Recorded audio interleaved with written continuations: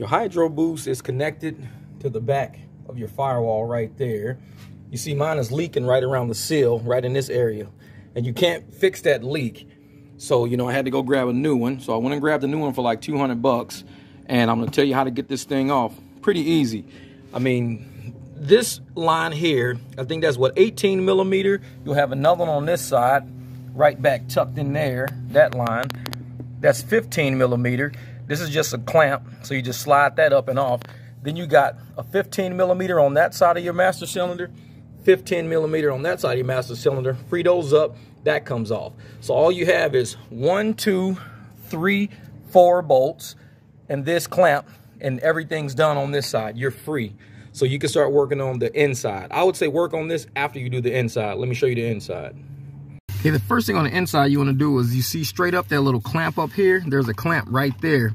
You're going to get a flathead screwdriver, slide it in that groove, and then with your finger push forward this way, like push toward the steering wheel forward, and you're going to get that little clamp off. Once that clamps off, now you got your little yoke pieces free.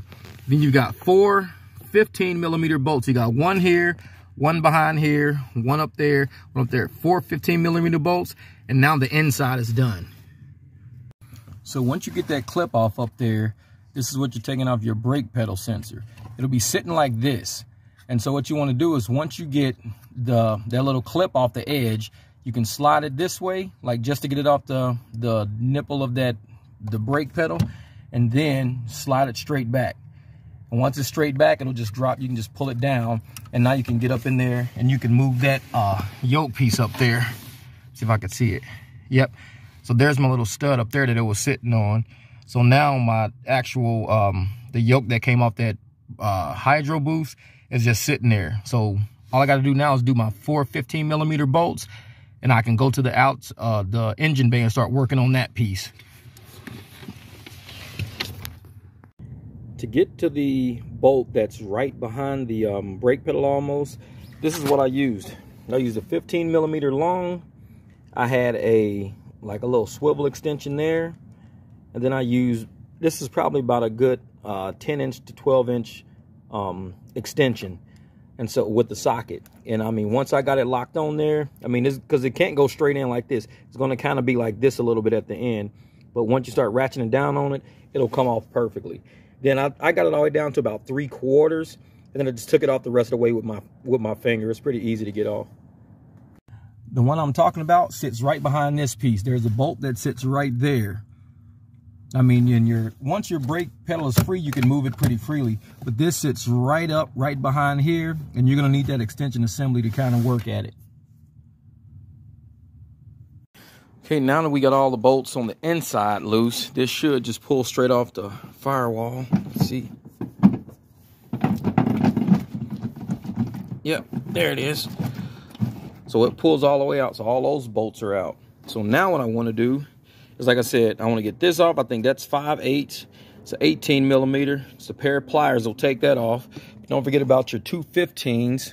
You've got, let me see if I can hit this real quick. Yep. So there's one 15 on this side that holds your master cylinder on. You got another exact one on the other side. So once you get those two off, you should be able to take your brake booster off. It's, it's not that hard. Make sure you got a good oil drip pan up under there. That's my drip pan. So all of the, once, as soon as I take those hoses off, fluid's gonna kind of drop on the ground. So make sure you got a pan up under there. So, yep, here we go. So there you go. You just do a little pulling, finagling, pull this, you know, bracket kind of back a little bit. You can lift it straight up and out. And there you have it sitting on the ground over there. There's my new one. I'm gonna work that one in. I'm gonna bolt my lines and every. I'm gonna bolt this. I'm gonna get one of them snug first when I put it in there. And once that's snug, and I got my master cylinder bolted onto the back, then I'll work on my lines and everything. But you want to make sure you wipe all of that stuff down, keep it nice and clean in there. But like I said, the hydro boost is out. It's time to drop the new one in. You always sit my new parts next to my old parts just to make sure everything lines up right. All the holes are facing in the right direction. Like I said, it looks pretty good should just be ready to drop in and, and let it rip. Okay, setting everything back up is a lot easier than taking it off because, you know, you're not untightening factory bolts and everything. Make sure you put your hydro boost on first, master cylinder, and then you put your bracket on last. Make sure this bracket slides on after everything else. Like I said, this first, put on your Hydro Boost first, then work your master cylinder all the way up to be flush with it, then put your bracket on to hold it all in place. Don't put this bracket on first. I've seen people do that and they they'll be like, "Hey man, I we did the brakes, but we can't get it to pressurize right." I'll go over there and the first thing I see is a gap between the brake booster and the master cylinder. I mean the hydro boost and the master cylinder. If I see a gap between there, means you're not going to get the full pressure you should be getting when you're hitting that master cylinder. Put this bracket on last. Okay, now as I slid it on from in the engine bay, you see how my my rod, it's behind where it should be. So now I've got to kind of pull it out a little bit to adjust the rod to be back on this side because where that stud is right there, that brown stud, that's where that silver rod should be going over that, but it's going on the back side. So now I got to push it back out a little bit, move the rod over, pull it back in place.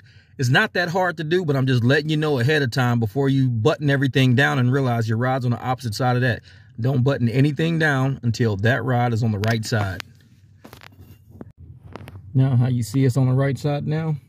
All I did was went into the engine bay, backed it off a little bit. I got a uh, flathead screwdriver, put it into the hole, pushed it over towards passenger side of the vehicle, then put the bolts back in, slid right in perfectly like that.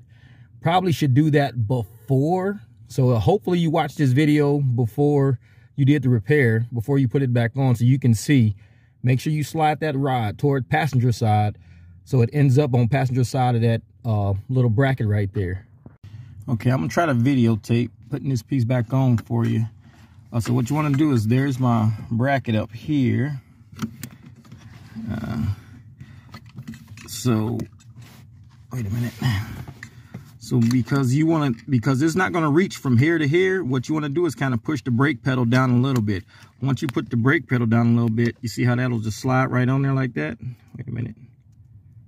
Why this thing, yeah it won't work because it won't um it won't adjust it won't focus but anyways push this down put the bracket on there then you're going to slide this piece over it like this because you got that little slit in the back once you get it on there then you want to put that little clamp on the first clamp that we took off a long time ago that's what you'll put on so make sure your your yoke little yoke slides on first push the brake pedal down a little bit slide this on the back side up clamp it down with the little bracket.